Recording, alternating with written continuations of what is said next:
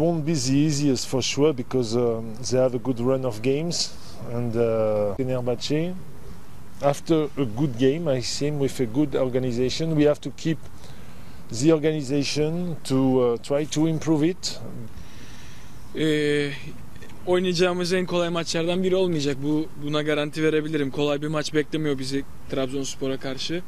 Seriyi yakaladılar son dönemde. Güçlü bir kadroya sahipler. Güçlü bir takım Trabzonspor ama biz de çok istekliyiz. Fenerbahçe'ye karşı evimizde kaybettik. Hem de iyi bir oyun bence. İyi organize olmuş bir takım olarak oynadığımız, ortaya koyduğumuz bir futbolun ardından kaybettik. Ee, aynı organizasyonu korumalı ve üstüne koymalıyız, geliştirmeliyiz.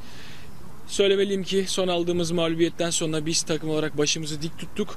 Doğru yolda olduğumuzu düşünüyor ve bu şekilde devam ediyoruz. once again rather than complaining the best is to uh, take care of the players who are on the pitch they are Zor bir periyot bizim için. Gerçekten zor bir dönemden geçiyor, geçiyoruz an itibariyle. Mikel henüz dönemedi sakatlıktan. Chris gerçekleştirici e, gerçekleşecek ameliyat için e, burada değil. Aziz cezalı bütün bunları hesaba kattığınızda bizim için çok fazla eksik var an itibariyle. Ama yine de e, şikayetçi olmaktansa her zamanki gibi sahada olacak arkadaşlarla ilgilenmeyi ve onlara elimden geldiğince özgüven aşılamayı istiyorum. İstediğimiz sonucu almak için elimizden geleni yapan bir kadroyla sahada olacağız. Evet seri bozuldu belki ama Fenerbahçe gibi bir takıma karşı bozuldu bu seri en nihayetinde. Bazen gerçekçi olmanız gerekir. Ee, tamam kaybettik.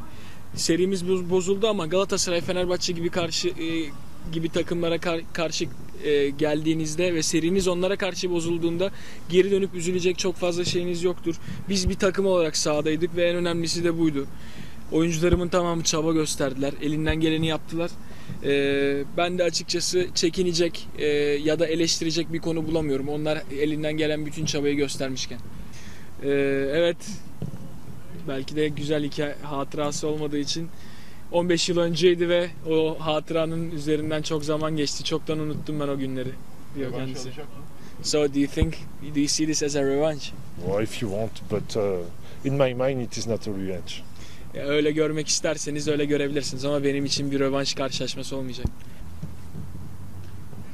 Ee, belki 15. hafta itibariyle bulunduğumuz durumdan daha iyi bir yerde olabilirdik ama daha kötü bir yerde de olabilirdik.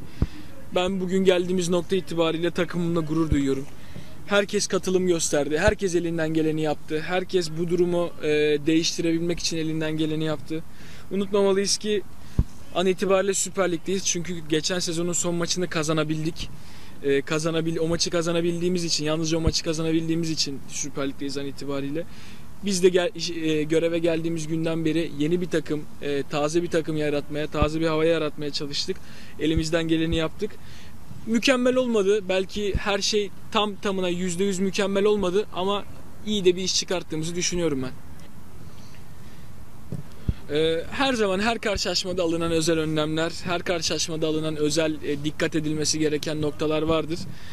Ama Trabzonspor'u biliyorum, oyuncularını biliyorum. Ee, ama onlara çok fazla adapte olmalarını istemiyorum oyuncularımın. Tabii ki alacağımız önlem, bazı önlemler var ama sadece onlara adapte olarak oynamayacağız. Bizim de kendi oyunumuz var ve onu ortaya koyacağız. Çok teşekkürler. Teşekkür ederim.